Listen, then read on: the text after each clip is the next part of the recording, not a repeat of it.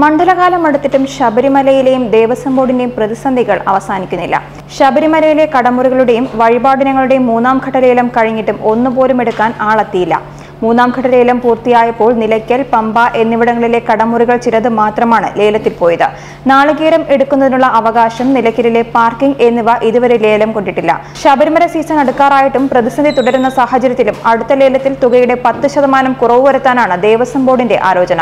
മൂന്ന് പ്രാവശ്യം ലേലം പൂർത്തിയായപ്പോൾ ഇരുന്നൂറ്റി പതിനാറ് ഇനങ്ങളിൽ അറുപത്തിയഞ്ചിനം മാത്രമാണ് ലേലം കൊണ്ടത്. അതും നിലയ്ക്കൽ പമ്പ എന്നിവിടങ്ങളിലെ സിംഗിൾ ടെൻഡറുകൾ മാത്രം. ശബരിമലയിലെ കടമുറികളുടെയും വഴിപാടിനങ്ങളുടെയും മൂന്നാം ഘട്ട ലേലം വ്യാപാരികൾ ബഹിഷ്കരിക്കുകയും ചെയ്തു. ഈ സാഹചര്യത്തിൽ സർക്കാർ ഏജൻസികൾ വഴിയോ നേരിട്ടോ നടത്താനുള്ള ആലോചനയിലാണ് ബോർഡ്. അതേസമയം ശബരിമല മണ്ഡലകാല സമയം അടുത്തിട്ടും തീർത്ഥാടകർക്കായി അടിസ്ഥാന സൗകര്യം പോലും ഒരുക്കിയില്ലെന്ന ആക്ഷേപവും ഉയരുന്നു. ഈ സാഹചര്യത്തിൽ ശക്തമായ പ്രതിഷേധവുമായി ഹിന്ദു സംഘടനകൾ രംഗത്തെത്തിയിട്ടുണ്ട്. ബി ജെ പി ഉൾപ്പെടെയുള്ള സംഘടനകൾ അവലോകന യോഗം നടക്കുന്ന സ്ഥലത്തേക്ക് പ്രതിഷേധ മാർച്ച് സംഘടിപ്പിക്കുമെന്നും സൂചനയുണ്ട്. അതേസമയം ശബരിമല തീർത്ഥാടനവുമായി ബന്ധപ്പെട്ട മുന്നൊരുക്കങ്ങളുടെ പുരോഗതി അവലോകനം ചെയ്യുന്നതിന് ദേവസ്വം ബോർഡ് ഇന്ന് യോഗം ചേരും.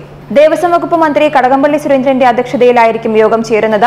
ദീർഘവീക്ഷണത്തോടെയുള്ള പദ്ധതികൾ നടപ്പാക്കണമെന്ന് എല്ലാ യോഗങ്ങളിലും വ്യക്തമാക്കാറുണ്ടെങ്കിലും സീസൺ കഴിയുന്നതോടെ ഇതിന്റെ ചൂടാറുകയാണ് പതിവ്.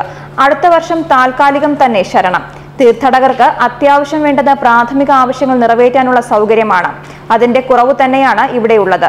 കുളിക്കടവുകൾ ശൗചാലയങ്ങൾ വിരിവയ്ക്കാനുള്ള സൗകര്യം വാഹനം ക്ഷേത്രത്തിനോടടുത്ത് നിർത്തിയിടാനുള്ള സൗകര്യം അനുബന്ധ ക്ഷേത്രങ്ങളെക്കുറിച്ചുള്ള വിവരങ്ങൾ നല്ല ഭക്ഷണം കുടിവെള്ളം ഇത്രയുമായാൽ ഭക്തർക്ക് തൃപ്തിയാവും.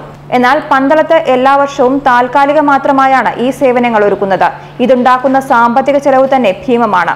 അഗ്നിരക്ഷാസേന നഗരസഭ വാടകയ്ക്കെടുക്കുന്ന കെട്ടിടം പണം കൊടുത്ത് പാർക്കിംഗ് സൗകര്യമൊരുക്കൽ ഉദ്യോഗസ്ഥർക്കും വിശുദ്ധി സേനാംഗങ്ങൾക്കും ഭക്ഷണം താൽക്കാലിക ഷെഡുകൾ താൽക്കാലിക ബോർഡുകൾ ഇങ്ങനെ താൽക്കാലിക പട്ടിക നീളുന്നു. അഗ്നിരക്ഷാ സേനയ്ക്കായി പന്തളത്ത് സ്ഥലം കണ്ടെത്താൻ ശ്രമം തുടങ്ങിയിട്ട് പതിനഞ്ച് വർഷത്തിലധികമായി. മുഖ്യമന്ത്രിയുടെ ശ്രദ്ധയിൽ വരെ ഇക്കാര്യം എത്തിച്ചിട്ടും പന്തളത്തെ ആസ്ഥാനം തുടങ്ങാനായിട്ടില്ല. കാവിയോ കറുപ്പോ ഉടുത്തവരെ കണ്ടാൽ സാധനങ്ങളുടെ വില കുത്തനെ ഉയർത്തുന്നവരുമുണ്ട്. ഓട്ടോയോ ടാക്സിയോ പിടിച്ചാൽ ചിലരെങ്കിലും അയ്യപ്പന്മാരെ പിഴിയും. കമ്പിളി നാരങ്ങയ്ക്ക് വരെ തൊട്ടാൽ പൊള്ളുന്ന വിലയാണ്. ചെങ്ങന്നൂരിൽ തീവണ്ടി ഇറങ്ങുമ്പോൾ മുതൽ മറുനാട്ടുകാരനും നാട്ടുകാരനുമെന്ന വേർതിരിവ് തുടങ്ങും. ഇത് നിയന്ത്രിക്കാൻ പ്രത്യേക സ്ക്വാഡുകൾ ഉണ്ടെങ്കിലും അത് കാര്യമായി പ്രവർത്തിക്കുന്നുണ്ടോ എന്ന കാര്യത്തിലാണ് സംശയം. ഇത്തരം സാഹചര്യങ്ങളിൽ അയ്യപ്പ സേവ ചെയ്യുന്ന സന്നദ്ധ സംഘടനകളാണ് തീർത്ഥാടകർക്ക് ആശ്വാസമാകുന്നത്. അയ്യപ്പ സേവാ സംഘം കൊട്ടാരം നിർവാഹക സംഘം വലിയ കോയിക്കൽ ക്ഷേത്ര ഉപദേശക സമിതി Sabarimala Ayyappa Seva Samajam palace welfare society Sevabharathi Kaipuzha Sreekrishnaswamy ക്ഷേത്ര ഉപദേശക സമിതി തുടങ്ങിയ സംഘടനകൾ തീർത്ഥാടകർക്ക് പലവിധ സേവനം നടത്തുന്നുണ്ട്. എല്ലാ വകുപ്പുകളുടെയും ഏകീകരണവും സേവനവുമാണ് ഓരോ മണ്ഡലകാലവും പരാതികളില്ലാതെ കടന്നുപോകാൻ വേണ്ടത്. ഇതിന് താല്പര്യമുള്ളവരെ തന്നെ കഴിയുന്നതും ജോലിക്ക് നിയോഗിക്കുകയാണ് വേണ്ടതും. ന്യൂസ് ഡെസ്ക് മലയാളി വാർത്ത.